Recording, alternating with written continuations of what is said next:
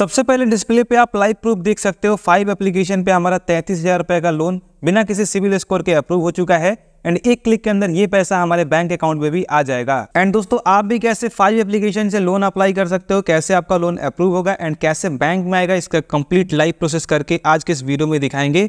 देखिए five application आपको पाँच हज़ार रुपए से लेके पाँच लाख रुपए तक का लोन ऑफ़र करता है। एंड यहाँ पर लोन का अमाउंट भरने के लिए आपको तीन महीनों से लेके छत्तीस महीनों तक का टाइम पीरियड दिया जाता है। आपका जो लोन है, उस पर आपसे साल का 24 परसेंट का इंटरेस्ट रेट यहाँ पर लगाया जाता है एंड साथ में जितने रुपए का लोन आपका अप्रूव होता है, उसमें दो परसेंट का प्रोसेसिंग चार्ज काट के आपके बैंक अकाउंट में पैसा भेजा जाता है। यहाँ पर लोन अप्लाई करने का प्रोसेस कंप्लीट डिजिटल है। दो मिनट के अंदर आपका लोन अप्रूव हो जाता है। एंड ये जो फाइव एप्लीकेशन है, ये R B I C approved application है। सो अगर आपको लोन अप्लाई करना है तो इस वीडियो को शुरू से लेकर एंड तक देखिएगा। क्योंकि कुछ लोग लोन अप्लाई करते समय कुछ गलतियाँ कर देते हैं, जिस कारण से उनका लोन डायरेक्टली रिजेक्ट हो जाता है। सो चलिए अब इस वीडियो को फटाफट से स्टार्ट कर लेते हैं। अभी दोस्तों, आपको फाइव एप्लीकेशन से लोन अप्लाई करने के लिए आपको सबसे पहले गूगल प्ले स्टोर से five instant personal loan app को डाउनलोड कर लेना है। इस एप्लीकेशन का डाउनलोड लिंक मैंने आपको वीडियो के नीचे डिस्क्रिप्शन बॉक्स में भी दे रखा है, उस पर क्लिक करके भी आप फाइव एप्लीकेशन को डाउनलोड कर सकते हैं। एप्लीकेशन को डाउनलोड करने के बाद आप सिंपली एप्लीकेशन को यहाँ पर ओपन करेंगे। उसके बाद आपके सामने कुछ इस तरीके का इंटरफेस खुल करके आ जाएगा। यहाँ पर आपको सबसे पहले अपना मोबाइल नंबर भरना है, जिस भी नंबर से आप यहाँ पर लोन अप्लाई करना चाहते हैं। एक बात का ध्यान रखेंगे कि कोशिश आप कीजिएगा कि आप यहाँ पर वही मोबाइल नंबर भरें जो आपके Aadhaar card and PAN card से लिंक हो। दूसरा मोबाइल नंबर भी भर सकते हैं, लेकिन अगर आधार, पैन से लिंक मोबाइल नंबर भरेंगे तो एप्लीकेशन अप्रूव होने का चांस ज़्यादा हो जाता है। सो यहाँ पर मोबाइल नंबर भरने के बाद यहाँ पर इस बॉक्स पे आप टिक करेंगे एंड उसके बाद यहाँ पर कंटिन्यू वाले बटन पे क्लिक करेंगे। अभी आपके मोबाइल नंबर पे एक ओटीपी सेंड किया जाएगा। ओटीपी को आप यहाँ पर फिल करेंगे देन वेरीफाई ओटीपी पे क्लिक करेंगे। नेक्स्ट पेज में यहाँ पर आपसे आपका ईमेल मांगा जाएगा देन यहाँ पर आप कंटिन्यू विथ गूगल वाले ऑप्शन को सेलेक्ट करेंगे। उसके बाद आपके मोबाइल फ़ोन में जितने सारे गूगल अकाउंट लॉग होंगे, आपको यहाँ पर देखने को मिल जाएँगे। आप यहाँ पर जो भी ईमेल देना चाहते हैं, उस वाले ईमेल को आपको यहाँ से सेलेक्ट कर लेना है। नेक्स्ट पेज में आपसे कुछ परमिशन मांगे जाएँगे। सो बेसिकली यहाँ पर आपको नीचे आई का ऑप्शन मिलेगा, इस पर आप क्लिक करेंगे। एंड यहाँ पर जो भी परमिशन आपसे मांगे जाते हैं, सभी परमिशन को आपको यहाँ पर अलाउ कर देना है। एंड उसके बाद यहाँ पर आपको सेटअप अकाउंट का ऑप्शन मिलेगा, इस पे आप एक बार क्लिक करेंगे। अभी कुछ ट्यूटोरियल खुल करके आ जाएगा तो ओके गोटेट वाले ऑप्शन पे यहाँ पर क्लिक करना है। नेक्स्ट पेज में आपको अपने आधार कार्ड के हिसाब से नाम भरना है। सबसे पहले यहाँ पर आप फ़र्स्ट नेम डालेंगे एंड यहाँ पर आप लास्ट नेम डालेंगे। अगर आपका कोई मिडिल नेम है तो आप फ़र्स्ट नेम के अंदर इंक्लूड कर सकते हैं। देन उसके बाद आप नेक्स्ट वाले बटन पे क्लिक करेंगे। उसके बाद आपको अपना डेट ऑफ़ बर्थ सेलेक्ट करना है तो सेलेक्ट डेट ऑफ़ बर्थ वाले ऑप्शन पे क्लिक करेंगे एंड यहाँ पर आपके सामने एक कैलेंडर खुल करके आ जाएगा। यहाँ पर आप चाहे तो अपने डेट ऑफ़ बर्थ को कंप्लीट फिल कर सकते हैं या फिर नीचे कैलेंडर में से भी आप यहाँ पर सेलेक्ट कर सकते हैं।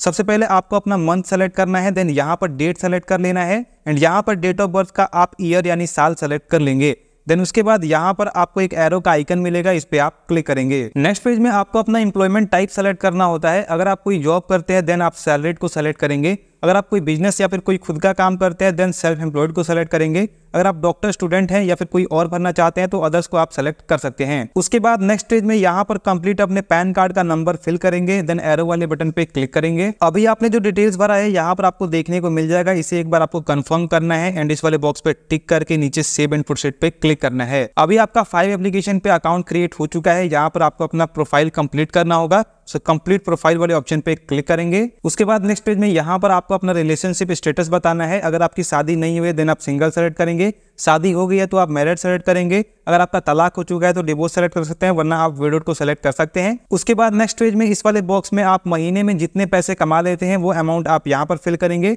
मिनिमम आपको कम से कम पंद्रह हज़ार भरना ही पड़ेगा एंड उसके बाद यहाँ पर ओके बटन पे क्लिक करेंगे। उसके बाद नेक्स्ट पेज में आप महीने में कितना पैसा कमाते हैं, वो अमाउंट आपको यहाँ पर फिल करना है। देन टिक वाले ऑप्शन पे क्लिक करना है। एंड उसके बाद कंफर्म इनकम वाले ऑप्शन पे क्लिक करेंगे। देन नेक्स्ट पेज में यहाँ पर आपको अपना वर्क एड्रेस फिल करना है। अगर आपने सैलरी सेलेक्ट किया है देन यहाँ पर कंपनी का नाम एंड कंपनी का कंप्लीट एड्रेस आप फिल करेंगे।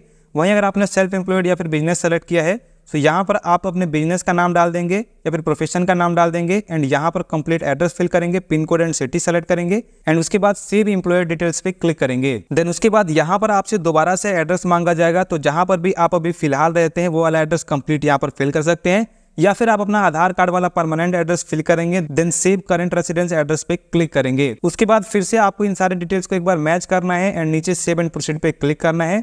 देन आपको यहाँ पर अपने मंथली इनकम को वेरीफाई करके कंफर्म इनकम पे यहाँ पर क्लिक करना है। फिर यहाँ पर एड्रेस डिटेल्स को दोबारा से एक बार मैच करके इस वाले बॉक्स पे आप एक बार टिक करेंगे एंड सबमिट पर्सनल डिटेल्स पे क्लिक करेंगे। नेक्स्ट पेज में आपकी डिटेल्स को एक बार वेरीफाई किया जाएगा एंड अगर आप लोन के लिए इलिजिबल होंगे तो कुछ ऐसा पेज आएगा। यहाँ पर डायरेक्टली लिखा है you are eligible to get five lakh rupees loan exact कितने रुपए का लोन मिलेगा वो आपको आगे बताया जाएगा। यहाँ पर आपसे बैंक स्टेटमेंट अपलोड करने के लिए बोला जाता है तो अगर आप बैंक स्टेटमेंट देना चाहते हैं तो continue to provide bank statement पे क्लिक करेंगे।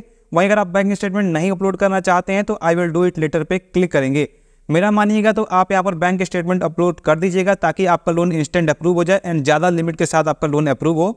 सो so, यहाँ पर आप continue to provide bank statement पे क्लिक करेंगे। उसके बाद नेक्स्ट पेज में बैंक स्टेटमेंट वेरीफाई करने के लिए आपको दो ऑप्शंस दिखाए जाएँगे। सबसे पहला ऑनलाइन मेथड है जिसमें आपको नेट बैंकिंग लॉगिन करना होगा एंड आपका bank statement automatic net banking से फेच कर लिया जाएगा।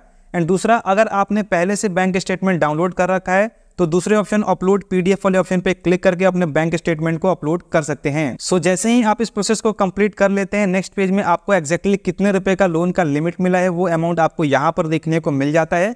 जैसे कि मेरे केस में मुझे पंद्रह हज़ार रुपए का लोन का लिमिट मिला है इस अमाउंट को बैंक में ट्रांसफ़र करने के लिए सबसे पहले हमें केवाईसी कंप्लीट करना होगा सो कंप्लीट केवाईसी वाले ऑप्शन पे क्लिक करेंगे। एंड नेक्स्ट पेज में केवाईसी कंप्लीट करने के लिए हमें अपने मोबाइल के फ्रंट कैमरे से अपना एक सेल्फी खींच के अपलोड करना होगा। उसके लिए आपको यहाँ पर क्लिक सेल्फी वाले ऑप्शन पे क्लिक करना है एंड अपना एक क्लियर सेल्फी अपलोड कर लेना है।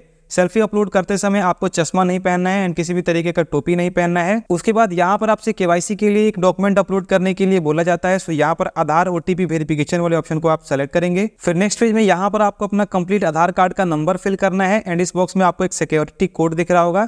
सेम टू सेम इस वाले कोड को आपको इस वाले बॉक्स में फिल करना है एंड उसके बाद यहाँ पर आपको इस वाले बॉक्स पे टिक करके नीचे रिक्वेस्ट ओटीपी पे क्लिक करना है। नेक्स्ट पेज में आपके आधार कार्ड से लिंक मोबाइल नंबर पे एक ओटीपी सेंड किया जाएगा। ओटीपी आप वेरीफाई करेंगे एंड उसके बाद आपका जो आधार कार्ड है ऑटोमेटिक यहाँ पर अपलोड हो जाएगा। देन उसके बाद लास्ट पेज में आप जिस भी बैंक अकाउंट में पैसा मंगाना चाहते हैं उसका डिटेल्स भरना है। ध्यान रहे कि आप यहाँ पर उसी का बैंक अकाउंट डिटेल्स भरेंगे जिसके नाम से आप लोन अप्लाई कर रहे हैं।